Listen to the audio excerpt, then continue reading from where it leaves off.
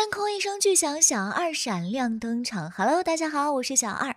二零二零年，鹅厂员工突然爆出大料，鹅厂将要停止和吴磊的一切合作，一时激起千层浪，网友们议论纷纷，想要求证这件事情的真假。而就在这个时候，关于吴磊的腾讯直播计划宣告取消，而穿越火线宣传海报上，吴磊所有照片全部都被撤掉。而鹅厂副总的朋友圈也更新了相关动态，表示不再和私番位的艺人合。作种种迹象表明，吴磊可能会被封杀。然而，这些仅仅是吴磊成名路上所有坎坷的冰山一角。那么，吴磊真的会死翻吗？这些年他的成名之路上都有着怎样的故事呢？他又是如何一步步化险为夷，走到今天的？这一路走来，吴磊也凭借着自己的作品，受到了无数观众的喜爱，以及娱乐圈很多前辈们的认可。在荣光的眼中，吴磊十八岁的时候便已经能够轻松把控自己饰演的每一个章节。不仅如此，吴磊非常敬业，可以为了一场戏在水中坚持两三个小时，精神可嘉，未来可期。在刘嘉玲的眼中，吴磊惊为天人，是一个非常好的年轻演员，专业认真，在拍戏的过程中态度一直很端正。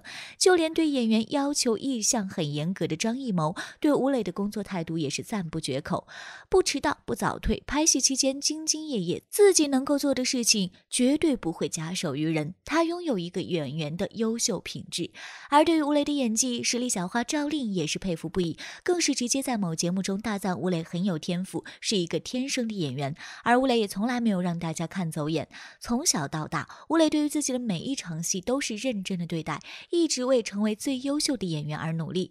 他希望自己在某一天能够成为像周润发那样的影帝，为此，吴磊一直在追梦的路上不断奔跑，拼尽全力去成为自己想要成为的人，在梦想的路上一路奔跑，为了。能够演好偶像明星，符合小说中男主的外形标准。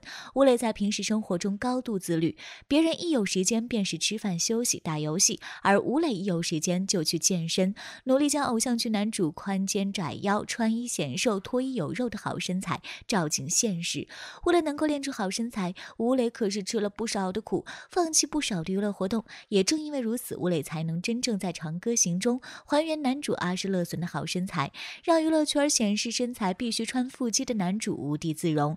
除了在身材上，吴磊一直对自己要求很严格，在演技上，吴磊也从来没有忘记提升。而他饰演的阿诗勒隼便是吴磊努力后的完美答卷。在剧中，吴磊作为霸气的大男主，俨然褪去了《琅琊榜》中小飞流的天真烂漫。这个人霸气侧漏，面对女主时百炼钢，迅速化为绕指柔，温润如玉。所有的转变都恰到好处。而最考验演员演戏功功。底的哭戏也让吴磊轻松拿捏，隔着屏幕都能让人感受到满满的悲伤，让人不禁沉浸其中。就连央视也在报道吴磊哭戏的出色，在拍戏的态度上，吴磊也是一如既往的端正。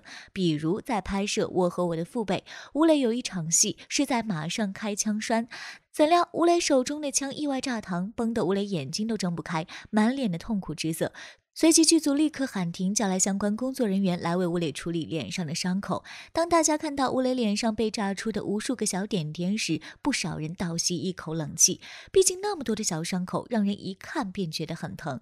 因此，不少人劝说吴磊到医院就医。再加上，对于一个偶像明星来说，脸就等于是前程。如果脸上的伤感染，吴磊便会面临毁容的风险。因此，剧组便有更多的人站出来，表示让吴磊尽快去医院处理伤口。然而，吴磊。全程像是没事人一样，甚至为了不耽误拍摄的进度，坚持让化妆师用遮瑕粉遮住脸上的伤，继续拍戏。由此可见，吴磊在拍戏上的认真。然而，即便是吴磊在拍戏上兢兢业业，在演技上不断进步，他的成名之路也并不顺利。在他成名的道路上，被抢戏份、遭受冷眼，这些都是经常发生的事情。二零一八年，由吴磊领衔主演的《沙海》上映，然而在播出后不久，网友便发现了不对劲儿，因为在这部剧中，作为主角的吴磊戏份竟然还比不上作为配角的张明恩，而且很多本应该属于主角的光环，最后也转移到了张明恩的身上。这样的事情在国内电视剧中实在是少见，这让网友们感到很是疑惑啊。不过，这样的疑惑没持续太久，不久。之后，便有网友爆出，《沙海》的制片人白一聪竟然是张明恩曾经的老师，而且两人这些年关系一直保持着联系，关系很不错，这团疑云才被解开。不过张明恩开后门加戏份的事情也遭到了网友们的指责，毕竟无论到哪里，不靠实力靠后台都不是什么光彩的事情。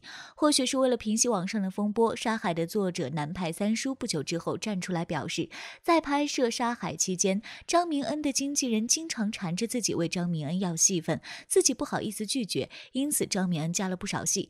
然而有加戏份的，便有删减戏份的，而被剪掉的自然是戏份最多的，原本属于主角吴磊的戏。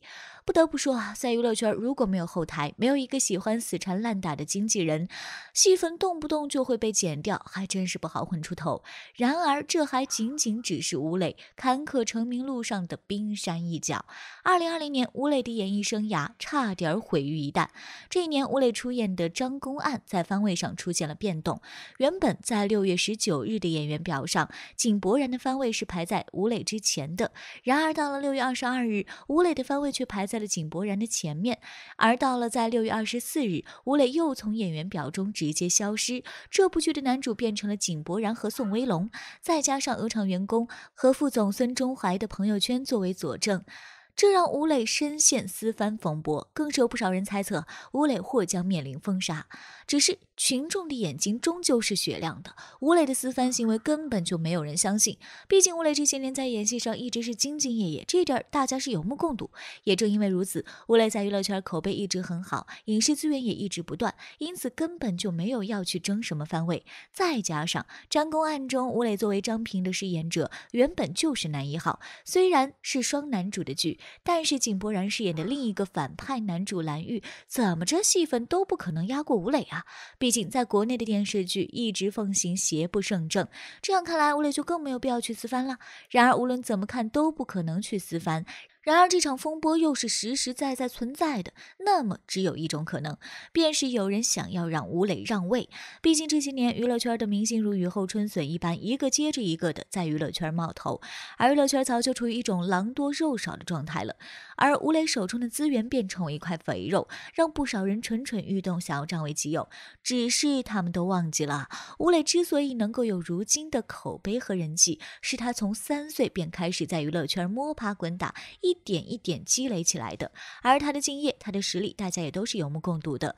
因此，想要通过恶意抹黑让吴磊塌房，并不是一件容易的事情。或许正是因为粉丝们的支持，他多年努力下经营起来的好口碑，让吴磊从这场风波中全身而退，重新回到了曾经的辉煌。从二零二一年到二零二二年，吴磊凭借着自己的实力，为我们交上了一份又一份满意的答卷。凭借着在这些作品中的精彩表现，吴磊的人气更胜从前，成。作为年轻一代实力派演员中的典型代表，只是吴磊的成名之路难免让人心疼。